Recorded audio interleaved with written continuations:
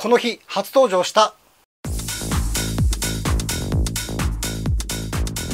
毎週日曜日の朝からネット界隈をざわわとさせているのが TBS の最低モーニング。あ違った。サンデーモーニング。令和元年8月18日の放送は最低でした。番組は最低だったのですが一つ嬉しいことがありました。オンタイムで見ながらツイッターで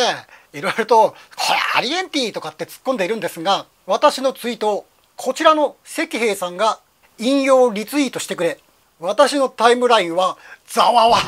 となりました。ものすごい勢いでリツイートされて「いいね」をたたたたたたたたたたふた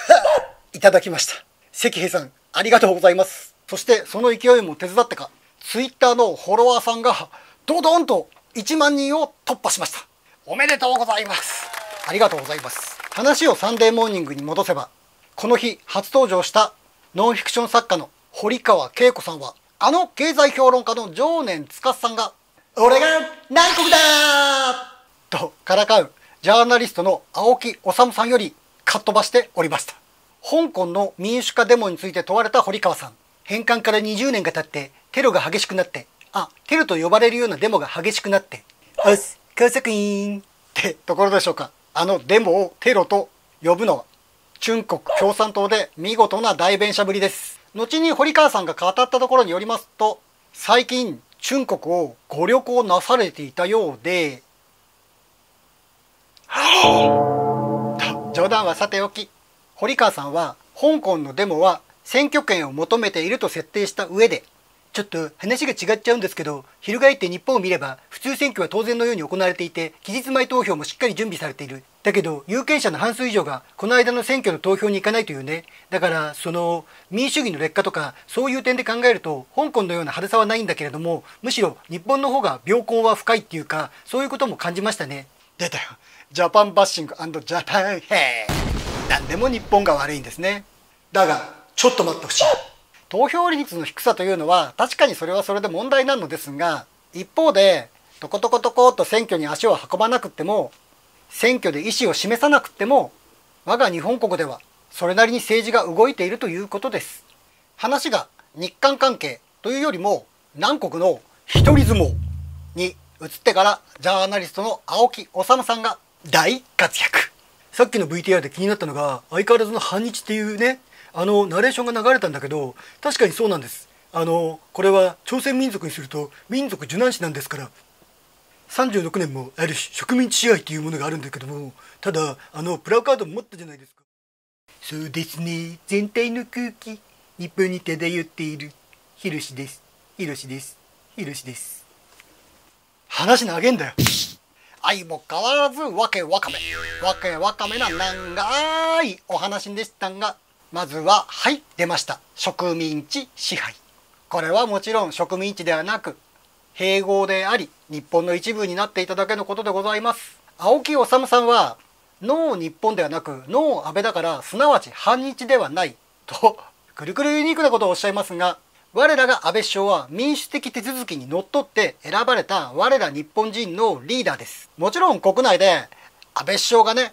大好き。の真逆、真逆という人がいたって、それは多様な意見の一つで構わないのですが、別の国の南国の方に言われる筋合いのことではございません。それは日本株式会社が株主総会において決めた安倍社長について、かつては企業合併で同じ会社だった南国商店さんだとはいえもうすでに74年前に分社化してね別の会社になってるんです。その分社化して別の会社になった南国商店が我が日本株式会社の安倍社長に向かって「安倍やめろ安倍やめろ」と言っているようなものです。アホか。もしかしてもしかするとですよ南国はまだ同じ国だと思っているのでしょうか。でもねもうはるか昔に別の国になってるんです。もっともこれはジャーナリストの青木治さんの見立てで私は南国を立派な独立国だと思っております。なので立場は同じ。見下すこともキャベツすることもあってはならないと考えております。さらに青木治さんのくるくるユニークなお話はツッコミどころが満載でした。日本が最近ねテレビなんか見ててもとにかく韓国批判一色。青木治さんはどのテレビを見てるのでしょうか？この後に及んでまでもテレビメディアは南国用語にお忙しくそのあまりの露骨さは鼻につくほどです。あえて論調が一色であるとするならばどっちもどっちだから日本が折れてあげてという意見で統一されてるのが日本のマスコミの皆さんだと私のお目目には映ります。何よりその証拠がこの青木さんの発言の12分前のこの日初登場のノンフィクション作家堀川恵子さんが日韓がやっていることは意味がないとは言いませんがすごく無駄なこととおっしゃっておりました。はい青木治さんの嘘嘘がバレちゃった。その青木さんの発言の直前に南国批判一色でなかったからです。また青木治さんは南国や中国をバカにした本が売れているなんてね。実に面白いことをおっしゃいますが出版取次大手の東販のサイトを見るとそんな事実はどこにもございません。今年の上半期だけを見ても1位がキキキリンさんの本で2位が「そうか仲い」でおなじみの池田大作先生のご著書。そして3位があの霊言の大川隆法さんのご著書。ドドンとデデンと売れたこちらの百田直樹さんの日本国旗が6位でした。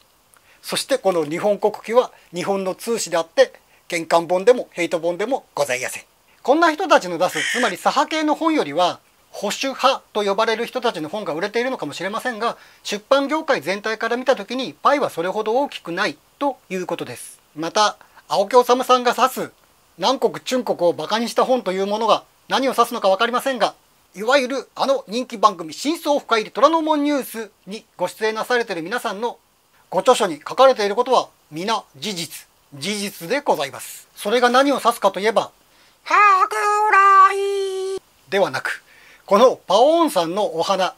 これが長いというのは事実の指摘。そして「キリンさんキリンさん」のお首が長いですね。というのも事実の指摘。なのでたとえ南国や中国に都合の悪いことが書かれている本であってもその内容が事実であるならば喧嘩本とかヘイト本には当たりません。ジャーナリストの青木治さん。青木治さんはすかさずあの金色のお串が目に痛いジャーナリストの金津田大介さんが芸術監督を務められる愛知トリエンナーレについても挟み込んでおりましたが別の事例を持ち込んで混ぜこぜにするのはあの発酵調味料と排泄物を混濁させるこんな人たちのいつもの手口です。そしていつもはこの最低モーニーについてケラケラケラケラと笑えるところだけをピックアップしているのですが今回ジャーナリストの青木治さんの長いお話を丁寧にふ分けしてみせたのは先ほどの長いお話の最後の一文がまるで青木治さんのポロリとした衝撃の告白のように私には見えたからです。僕ら日本に暮らす者としてその辺りもう少し客観的に冷静に自制をする必要もあるのかなという気はしますよね。日本人が日本に暮らすのは当たり前の話。もしかしてもしかするとですよ。ジャーナリストの青木治さんは戦後74年の月日が流れたにもかかわらずいまだ南国は日本の一部だなんて思っている疑惑が番組最後の「ガセを読む」あ違った「風を読む」のコーナーも「最低モーニー」と呼ぶにふさわしい内容でした戦後74年として日韓関係を考えるとかいう企画でその解説として登場した明治大学教授先生様であらせられる山田明さんがざっくりと言えば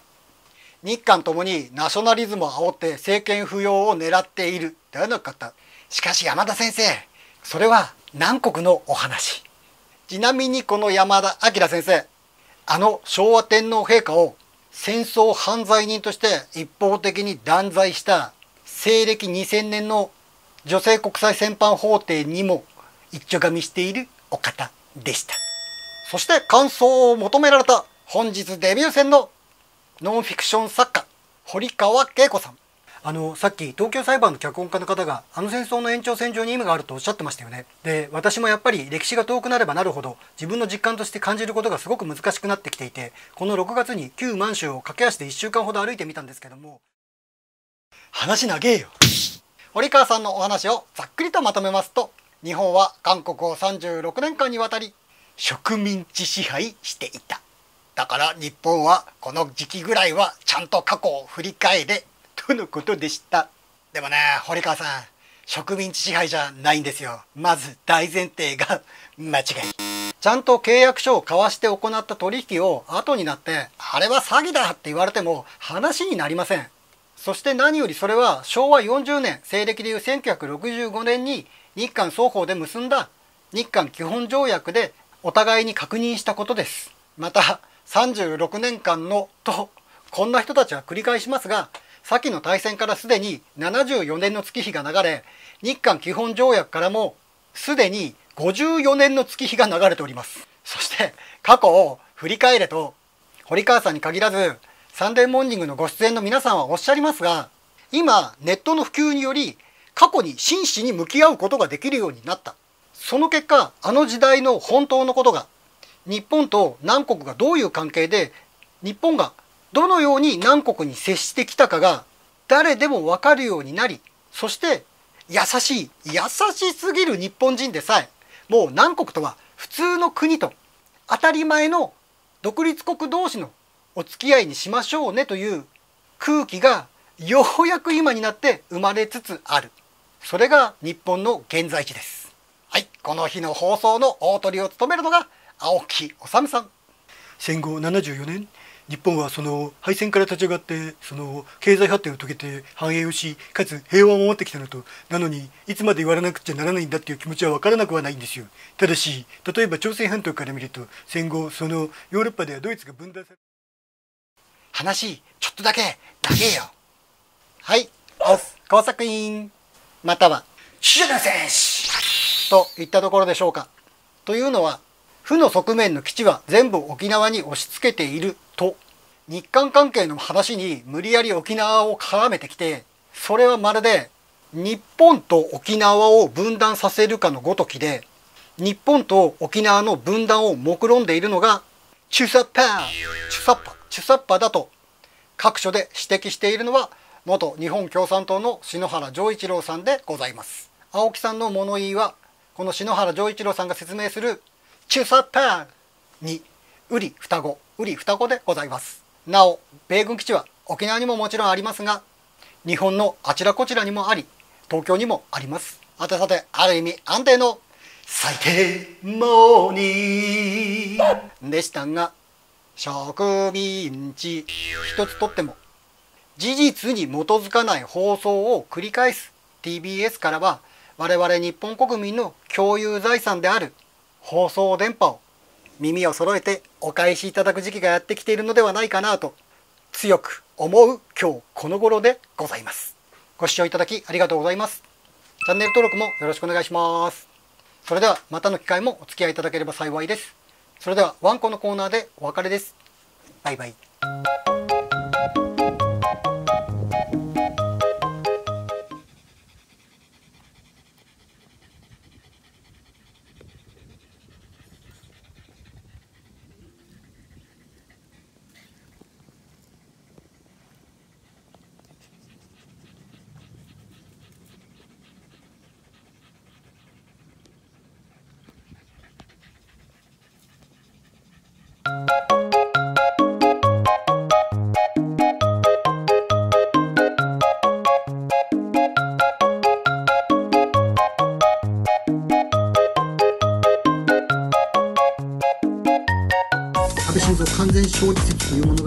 モルゲットヨット赤が勝ち